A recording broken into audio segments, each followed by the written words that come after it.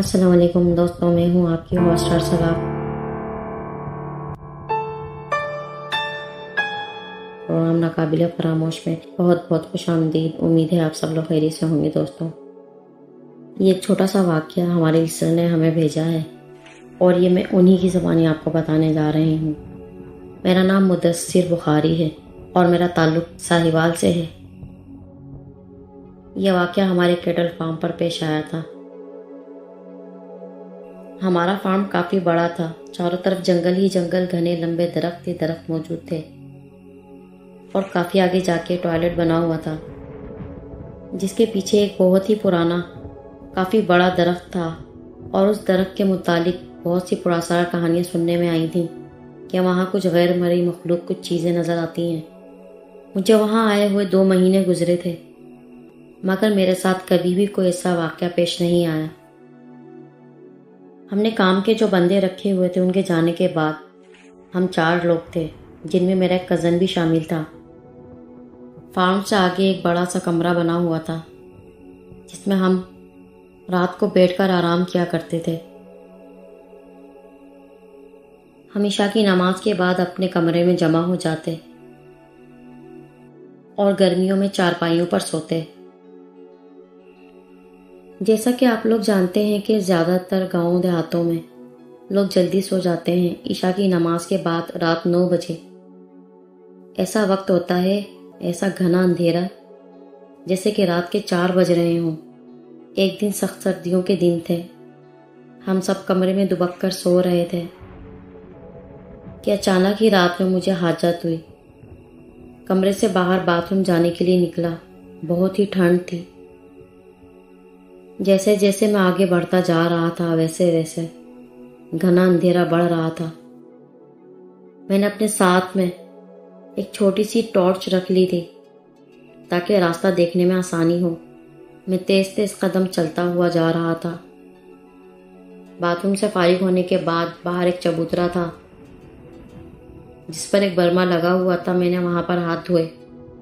वापस फार्म की तरफ़ मुड़ा ही था कि मुझे अपने पीछे बाथरूम की तरफ़ आहट सुनाई दी।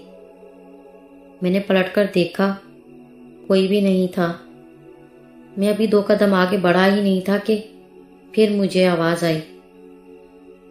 यह आवाज़ ऐसी थी कि जैसे कोई दरख्त की लकड़ियाँ दोनों हाथों से तोड़ रहा हो। ये लकड़ियाँ चटकने की आवाज़ बिल्कुल वाजा थी। मैं एक मिनट के लिए रुक गया, चारों तरफ़ टॉर्च मारी, मगर मुझे कुछ नज़र नहीं आया। मैं समझा कि शायद हवा चलने की वजह से दरख्त की शाखें आपस में रगड़ खा रही हैं। और ये इसी की आवाज़ होगी। मैं अपना वहम समझकर चलने लगा कि मुझे पीछे से किसी ने इतनी ज़ोर से धक्का दिया कि मैं लुड़खड़ाता हुआ जा गिरा। और मेरी टॉर्च भी कहीं गिर गई। मैं खौफ से कपकपाने लगा। जब मैंने पीछे मुड़कर देखा तो मेरा दिमाग एकदम से माउफ हो गया। ऐसा लगा कि मेरा जिसे वहीं पर जम गया हो। एक ऐसा मंजर देखा, जो मैं कभी भी फरामोश नहीं कर पाऊँगा।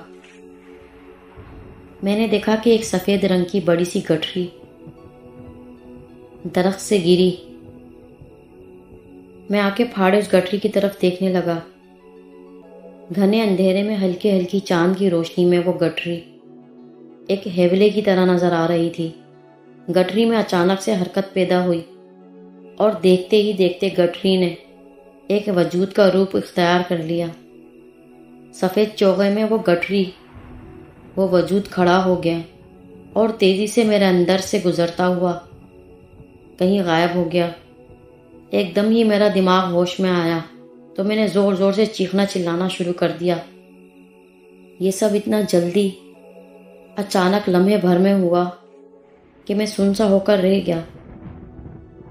मेरी जोरों की चीखें सुनकर हमारे साथी सभी भाई बाहर आ गए।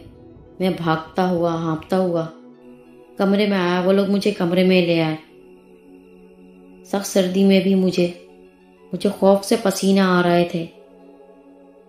पूरा एक हफ़्ता मुझे बहुत तेज बुखार रहा। उसके बाद हम कभी भी रात के वक्त उस तरफ़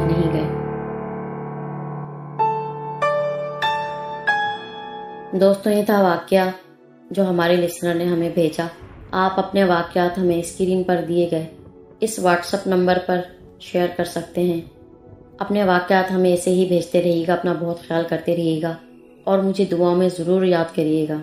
जो नए आने वाले लोग हैं, हमारे चैनल को लाइक करें सब्सक्राइब करें और बेल आइकन को भी प्रेस कर दें ताकि मेरी सारी नोटिफिकेशन सारी वीडियो आप तक पहुँच सकें।